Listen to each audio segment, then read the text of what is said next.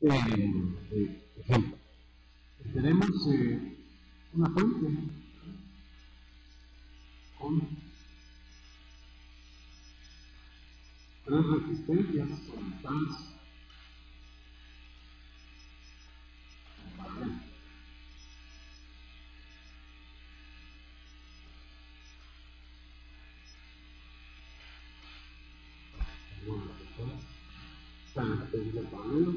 nosotros sabemos en los cursos de electricidad en la resistencia obviamente de este circuito es 1 partido R igual a 1 partido R1 más 1 partido R2 más 1 partido R3. Esa es la resistencia equivalente.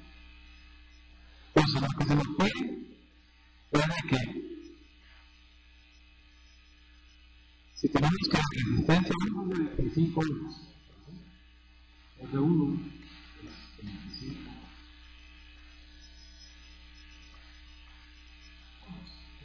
y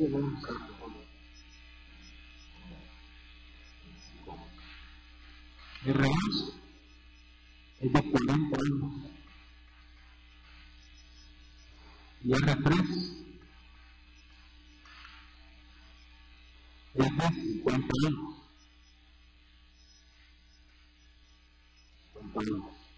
Y tenemos un posible error de medición de cada uno de la resistencia de 0.5%. O sea que tenemos un error de 5%. Eh, había dicho 0.5, pero 5%. No, perdón, aquí es 0.5. Entonces, lo que se nos es que estimemos el máximo del valor calculado, ¿no? Lo que estimar el valor máximo del valor calculado de este reglamento. Bueno, entonces, ahí, para eso, vamos a necesitar sacar el diferencial. Ahora, como vamos a hacer con dos variables, estamos trabajando con tres, sería R1, R2 y R3. Si lo ponemos con 25, nos está diciendo que tenemos un posible error del 0.5% para encontrar el diferencial, o sea, el, cómo tengo R1, que sería el R1, posible error, va a ser igual al 25, a los 25 años. 0.005.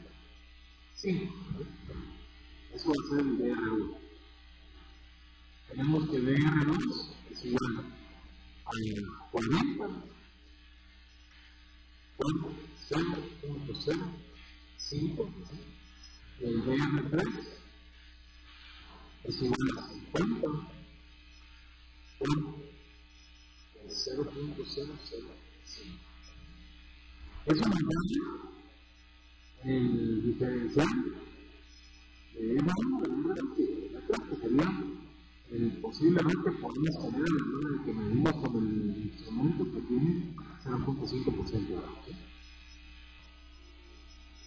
Entonces de que el diferencial de ser la diferencia de R con respecto a R1 por el diferencial de R1. Pues la diferencia de R con respecto a R2 por DR2. Pues la diferencia de R con respecto a R3 por R3. Entonces, estos tres ya los tenemos. ¿sí? son estos tres.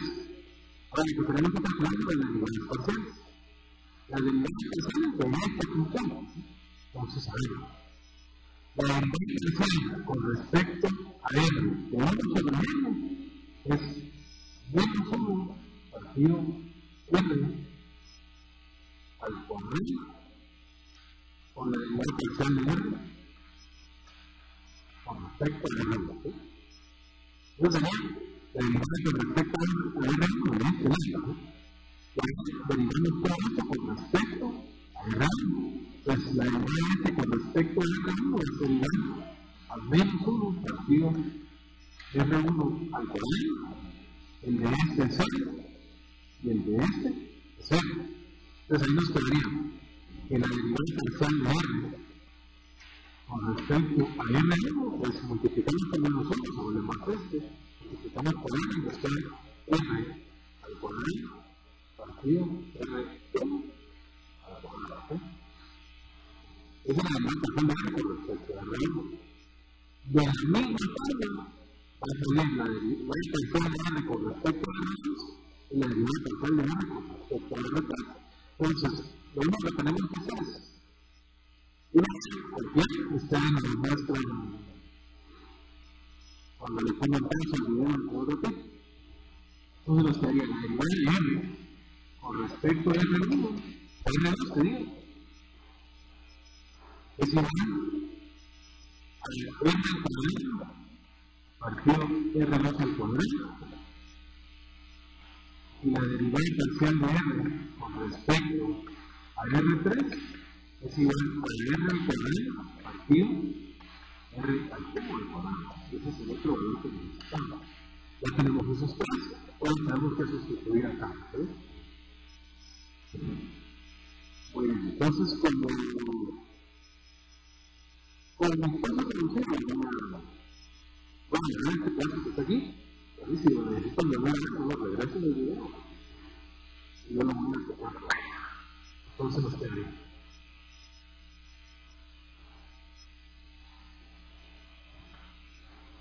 Diferencial de R es igual a R al cuadrado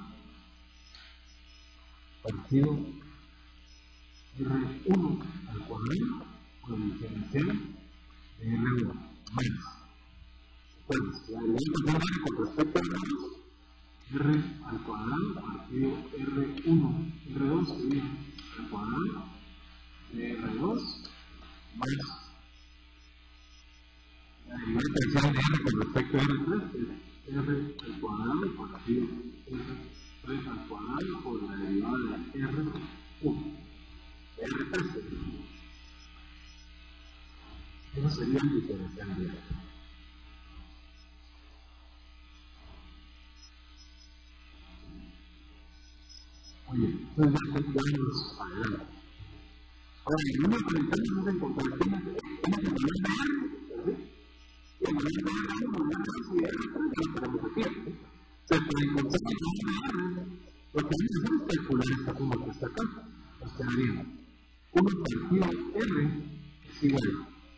1 partido R1, que es 1 sobre 25, más 1 partido R2, que es 1 sobre 40, más uno dividido entre 3, que es 1 sobre 50. Entonces nos queda que 1 partido R es igual. Entonces ya que lo calculamos, nos quedaría que 1 partido es igual a 17 partido 200. ¿sí? Espero que nos vayan si 1 partido R es igual a 17 partido 200. Eso quiere decir de que R es igual a 200 partido 200 ohms. Esa es la resistencia equivalente. Entonces tenemos que necesitamos para sustituir aquí el diferencial de R. Entonces, eh, podemos ver eso. Entonces tenemos el diferencial de R es igual a N, que es 17 partido 200 al cuadrado. O perdón, 200 partido 17 al cuadrado. Dividido R1 al cuadrado, que es 25 al cuadrado. Por DR1, que es 0.125, que es lo que habíamos calculado antes. Y tenemos que, otra vez tenemos eh, 200 partido 17 al cuadrado dividido R2 al cuadrado, pues 40 al cuadrado.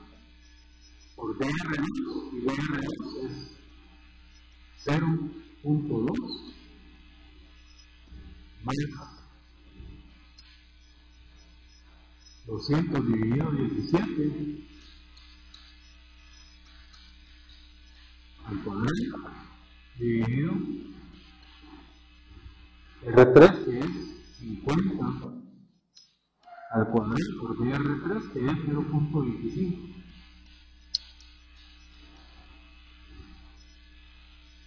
Entonces, los cuadrado, dividimos dentro de multiplicamos o menos, nos. El DR es igual a la 0.59 euros.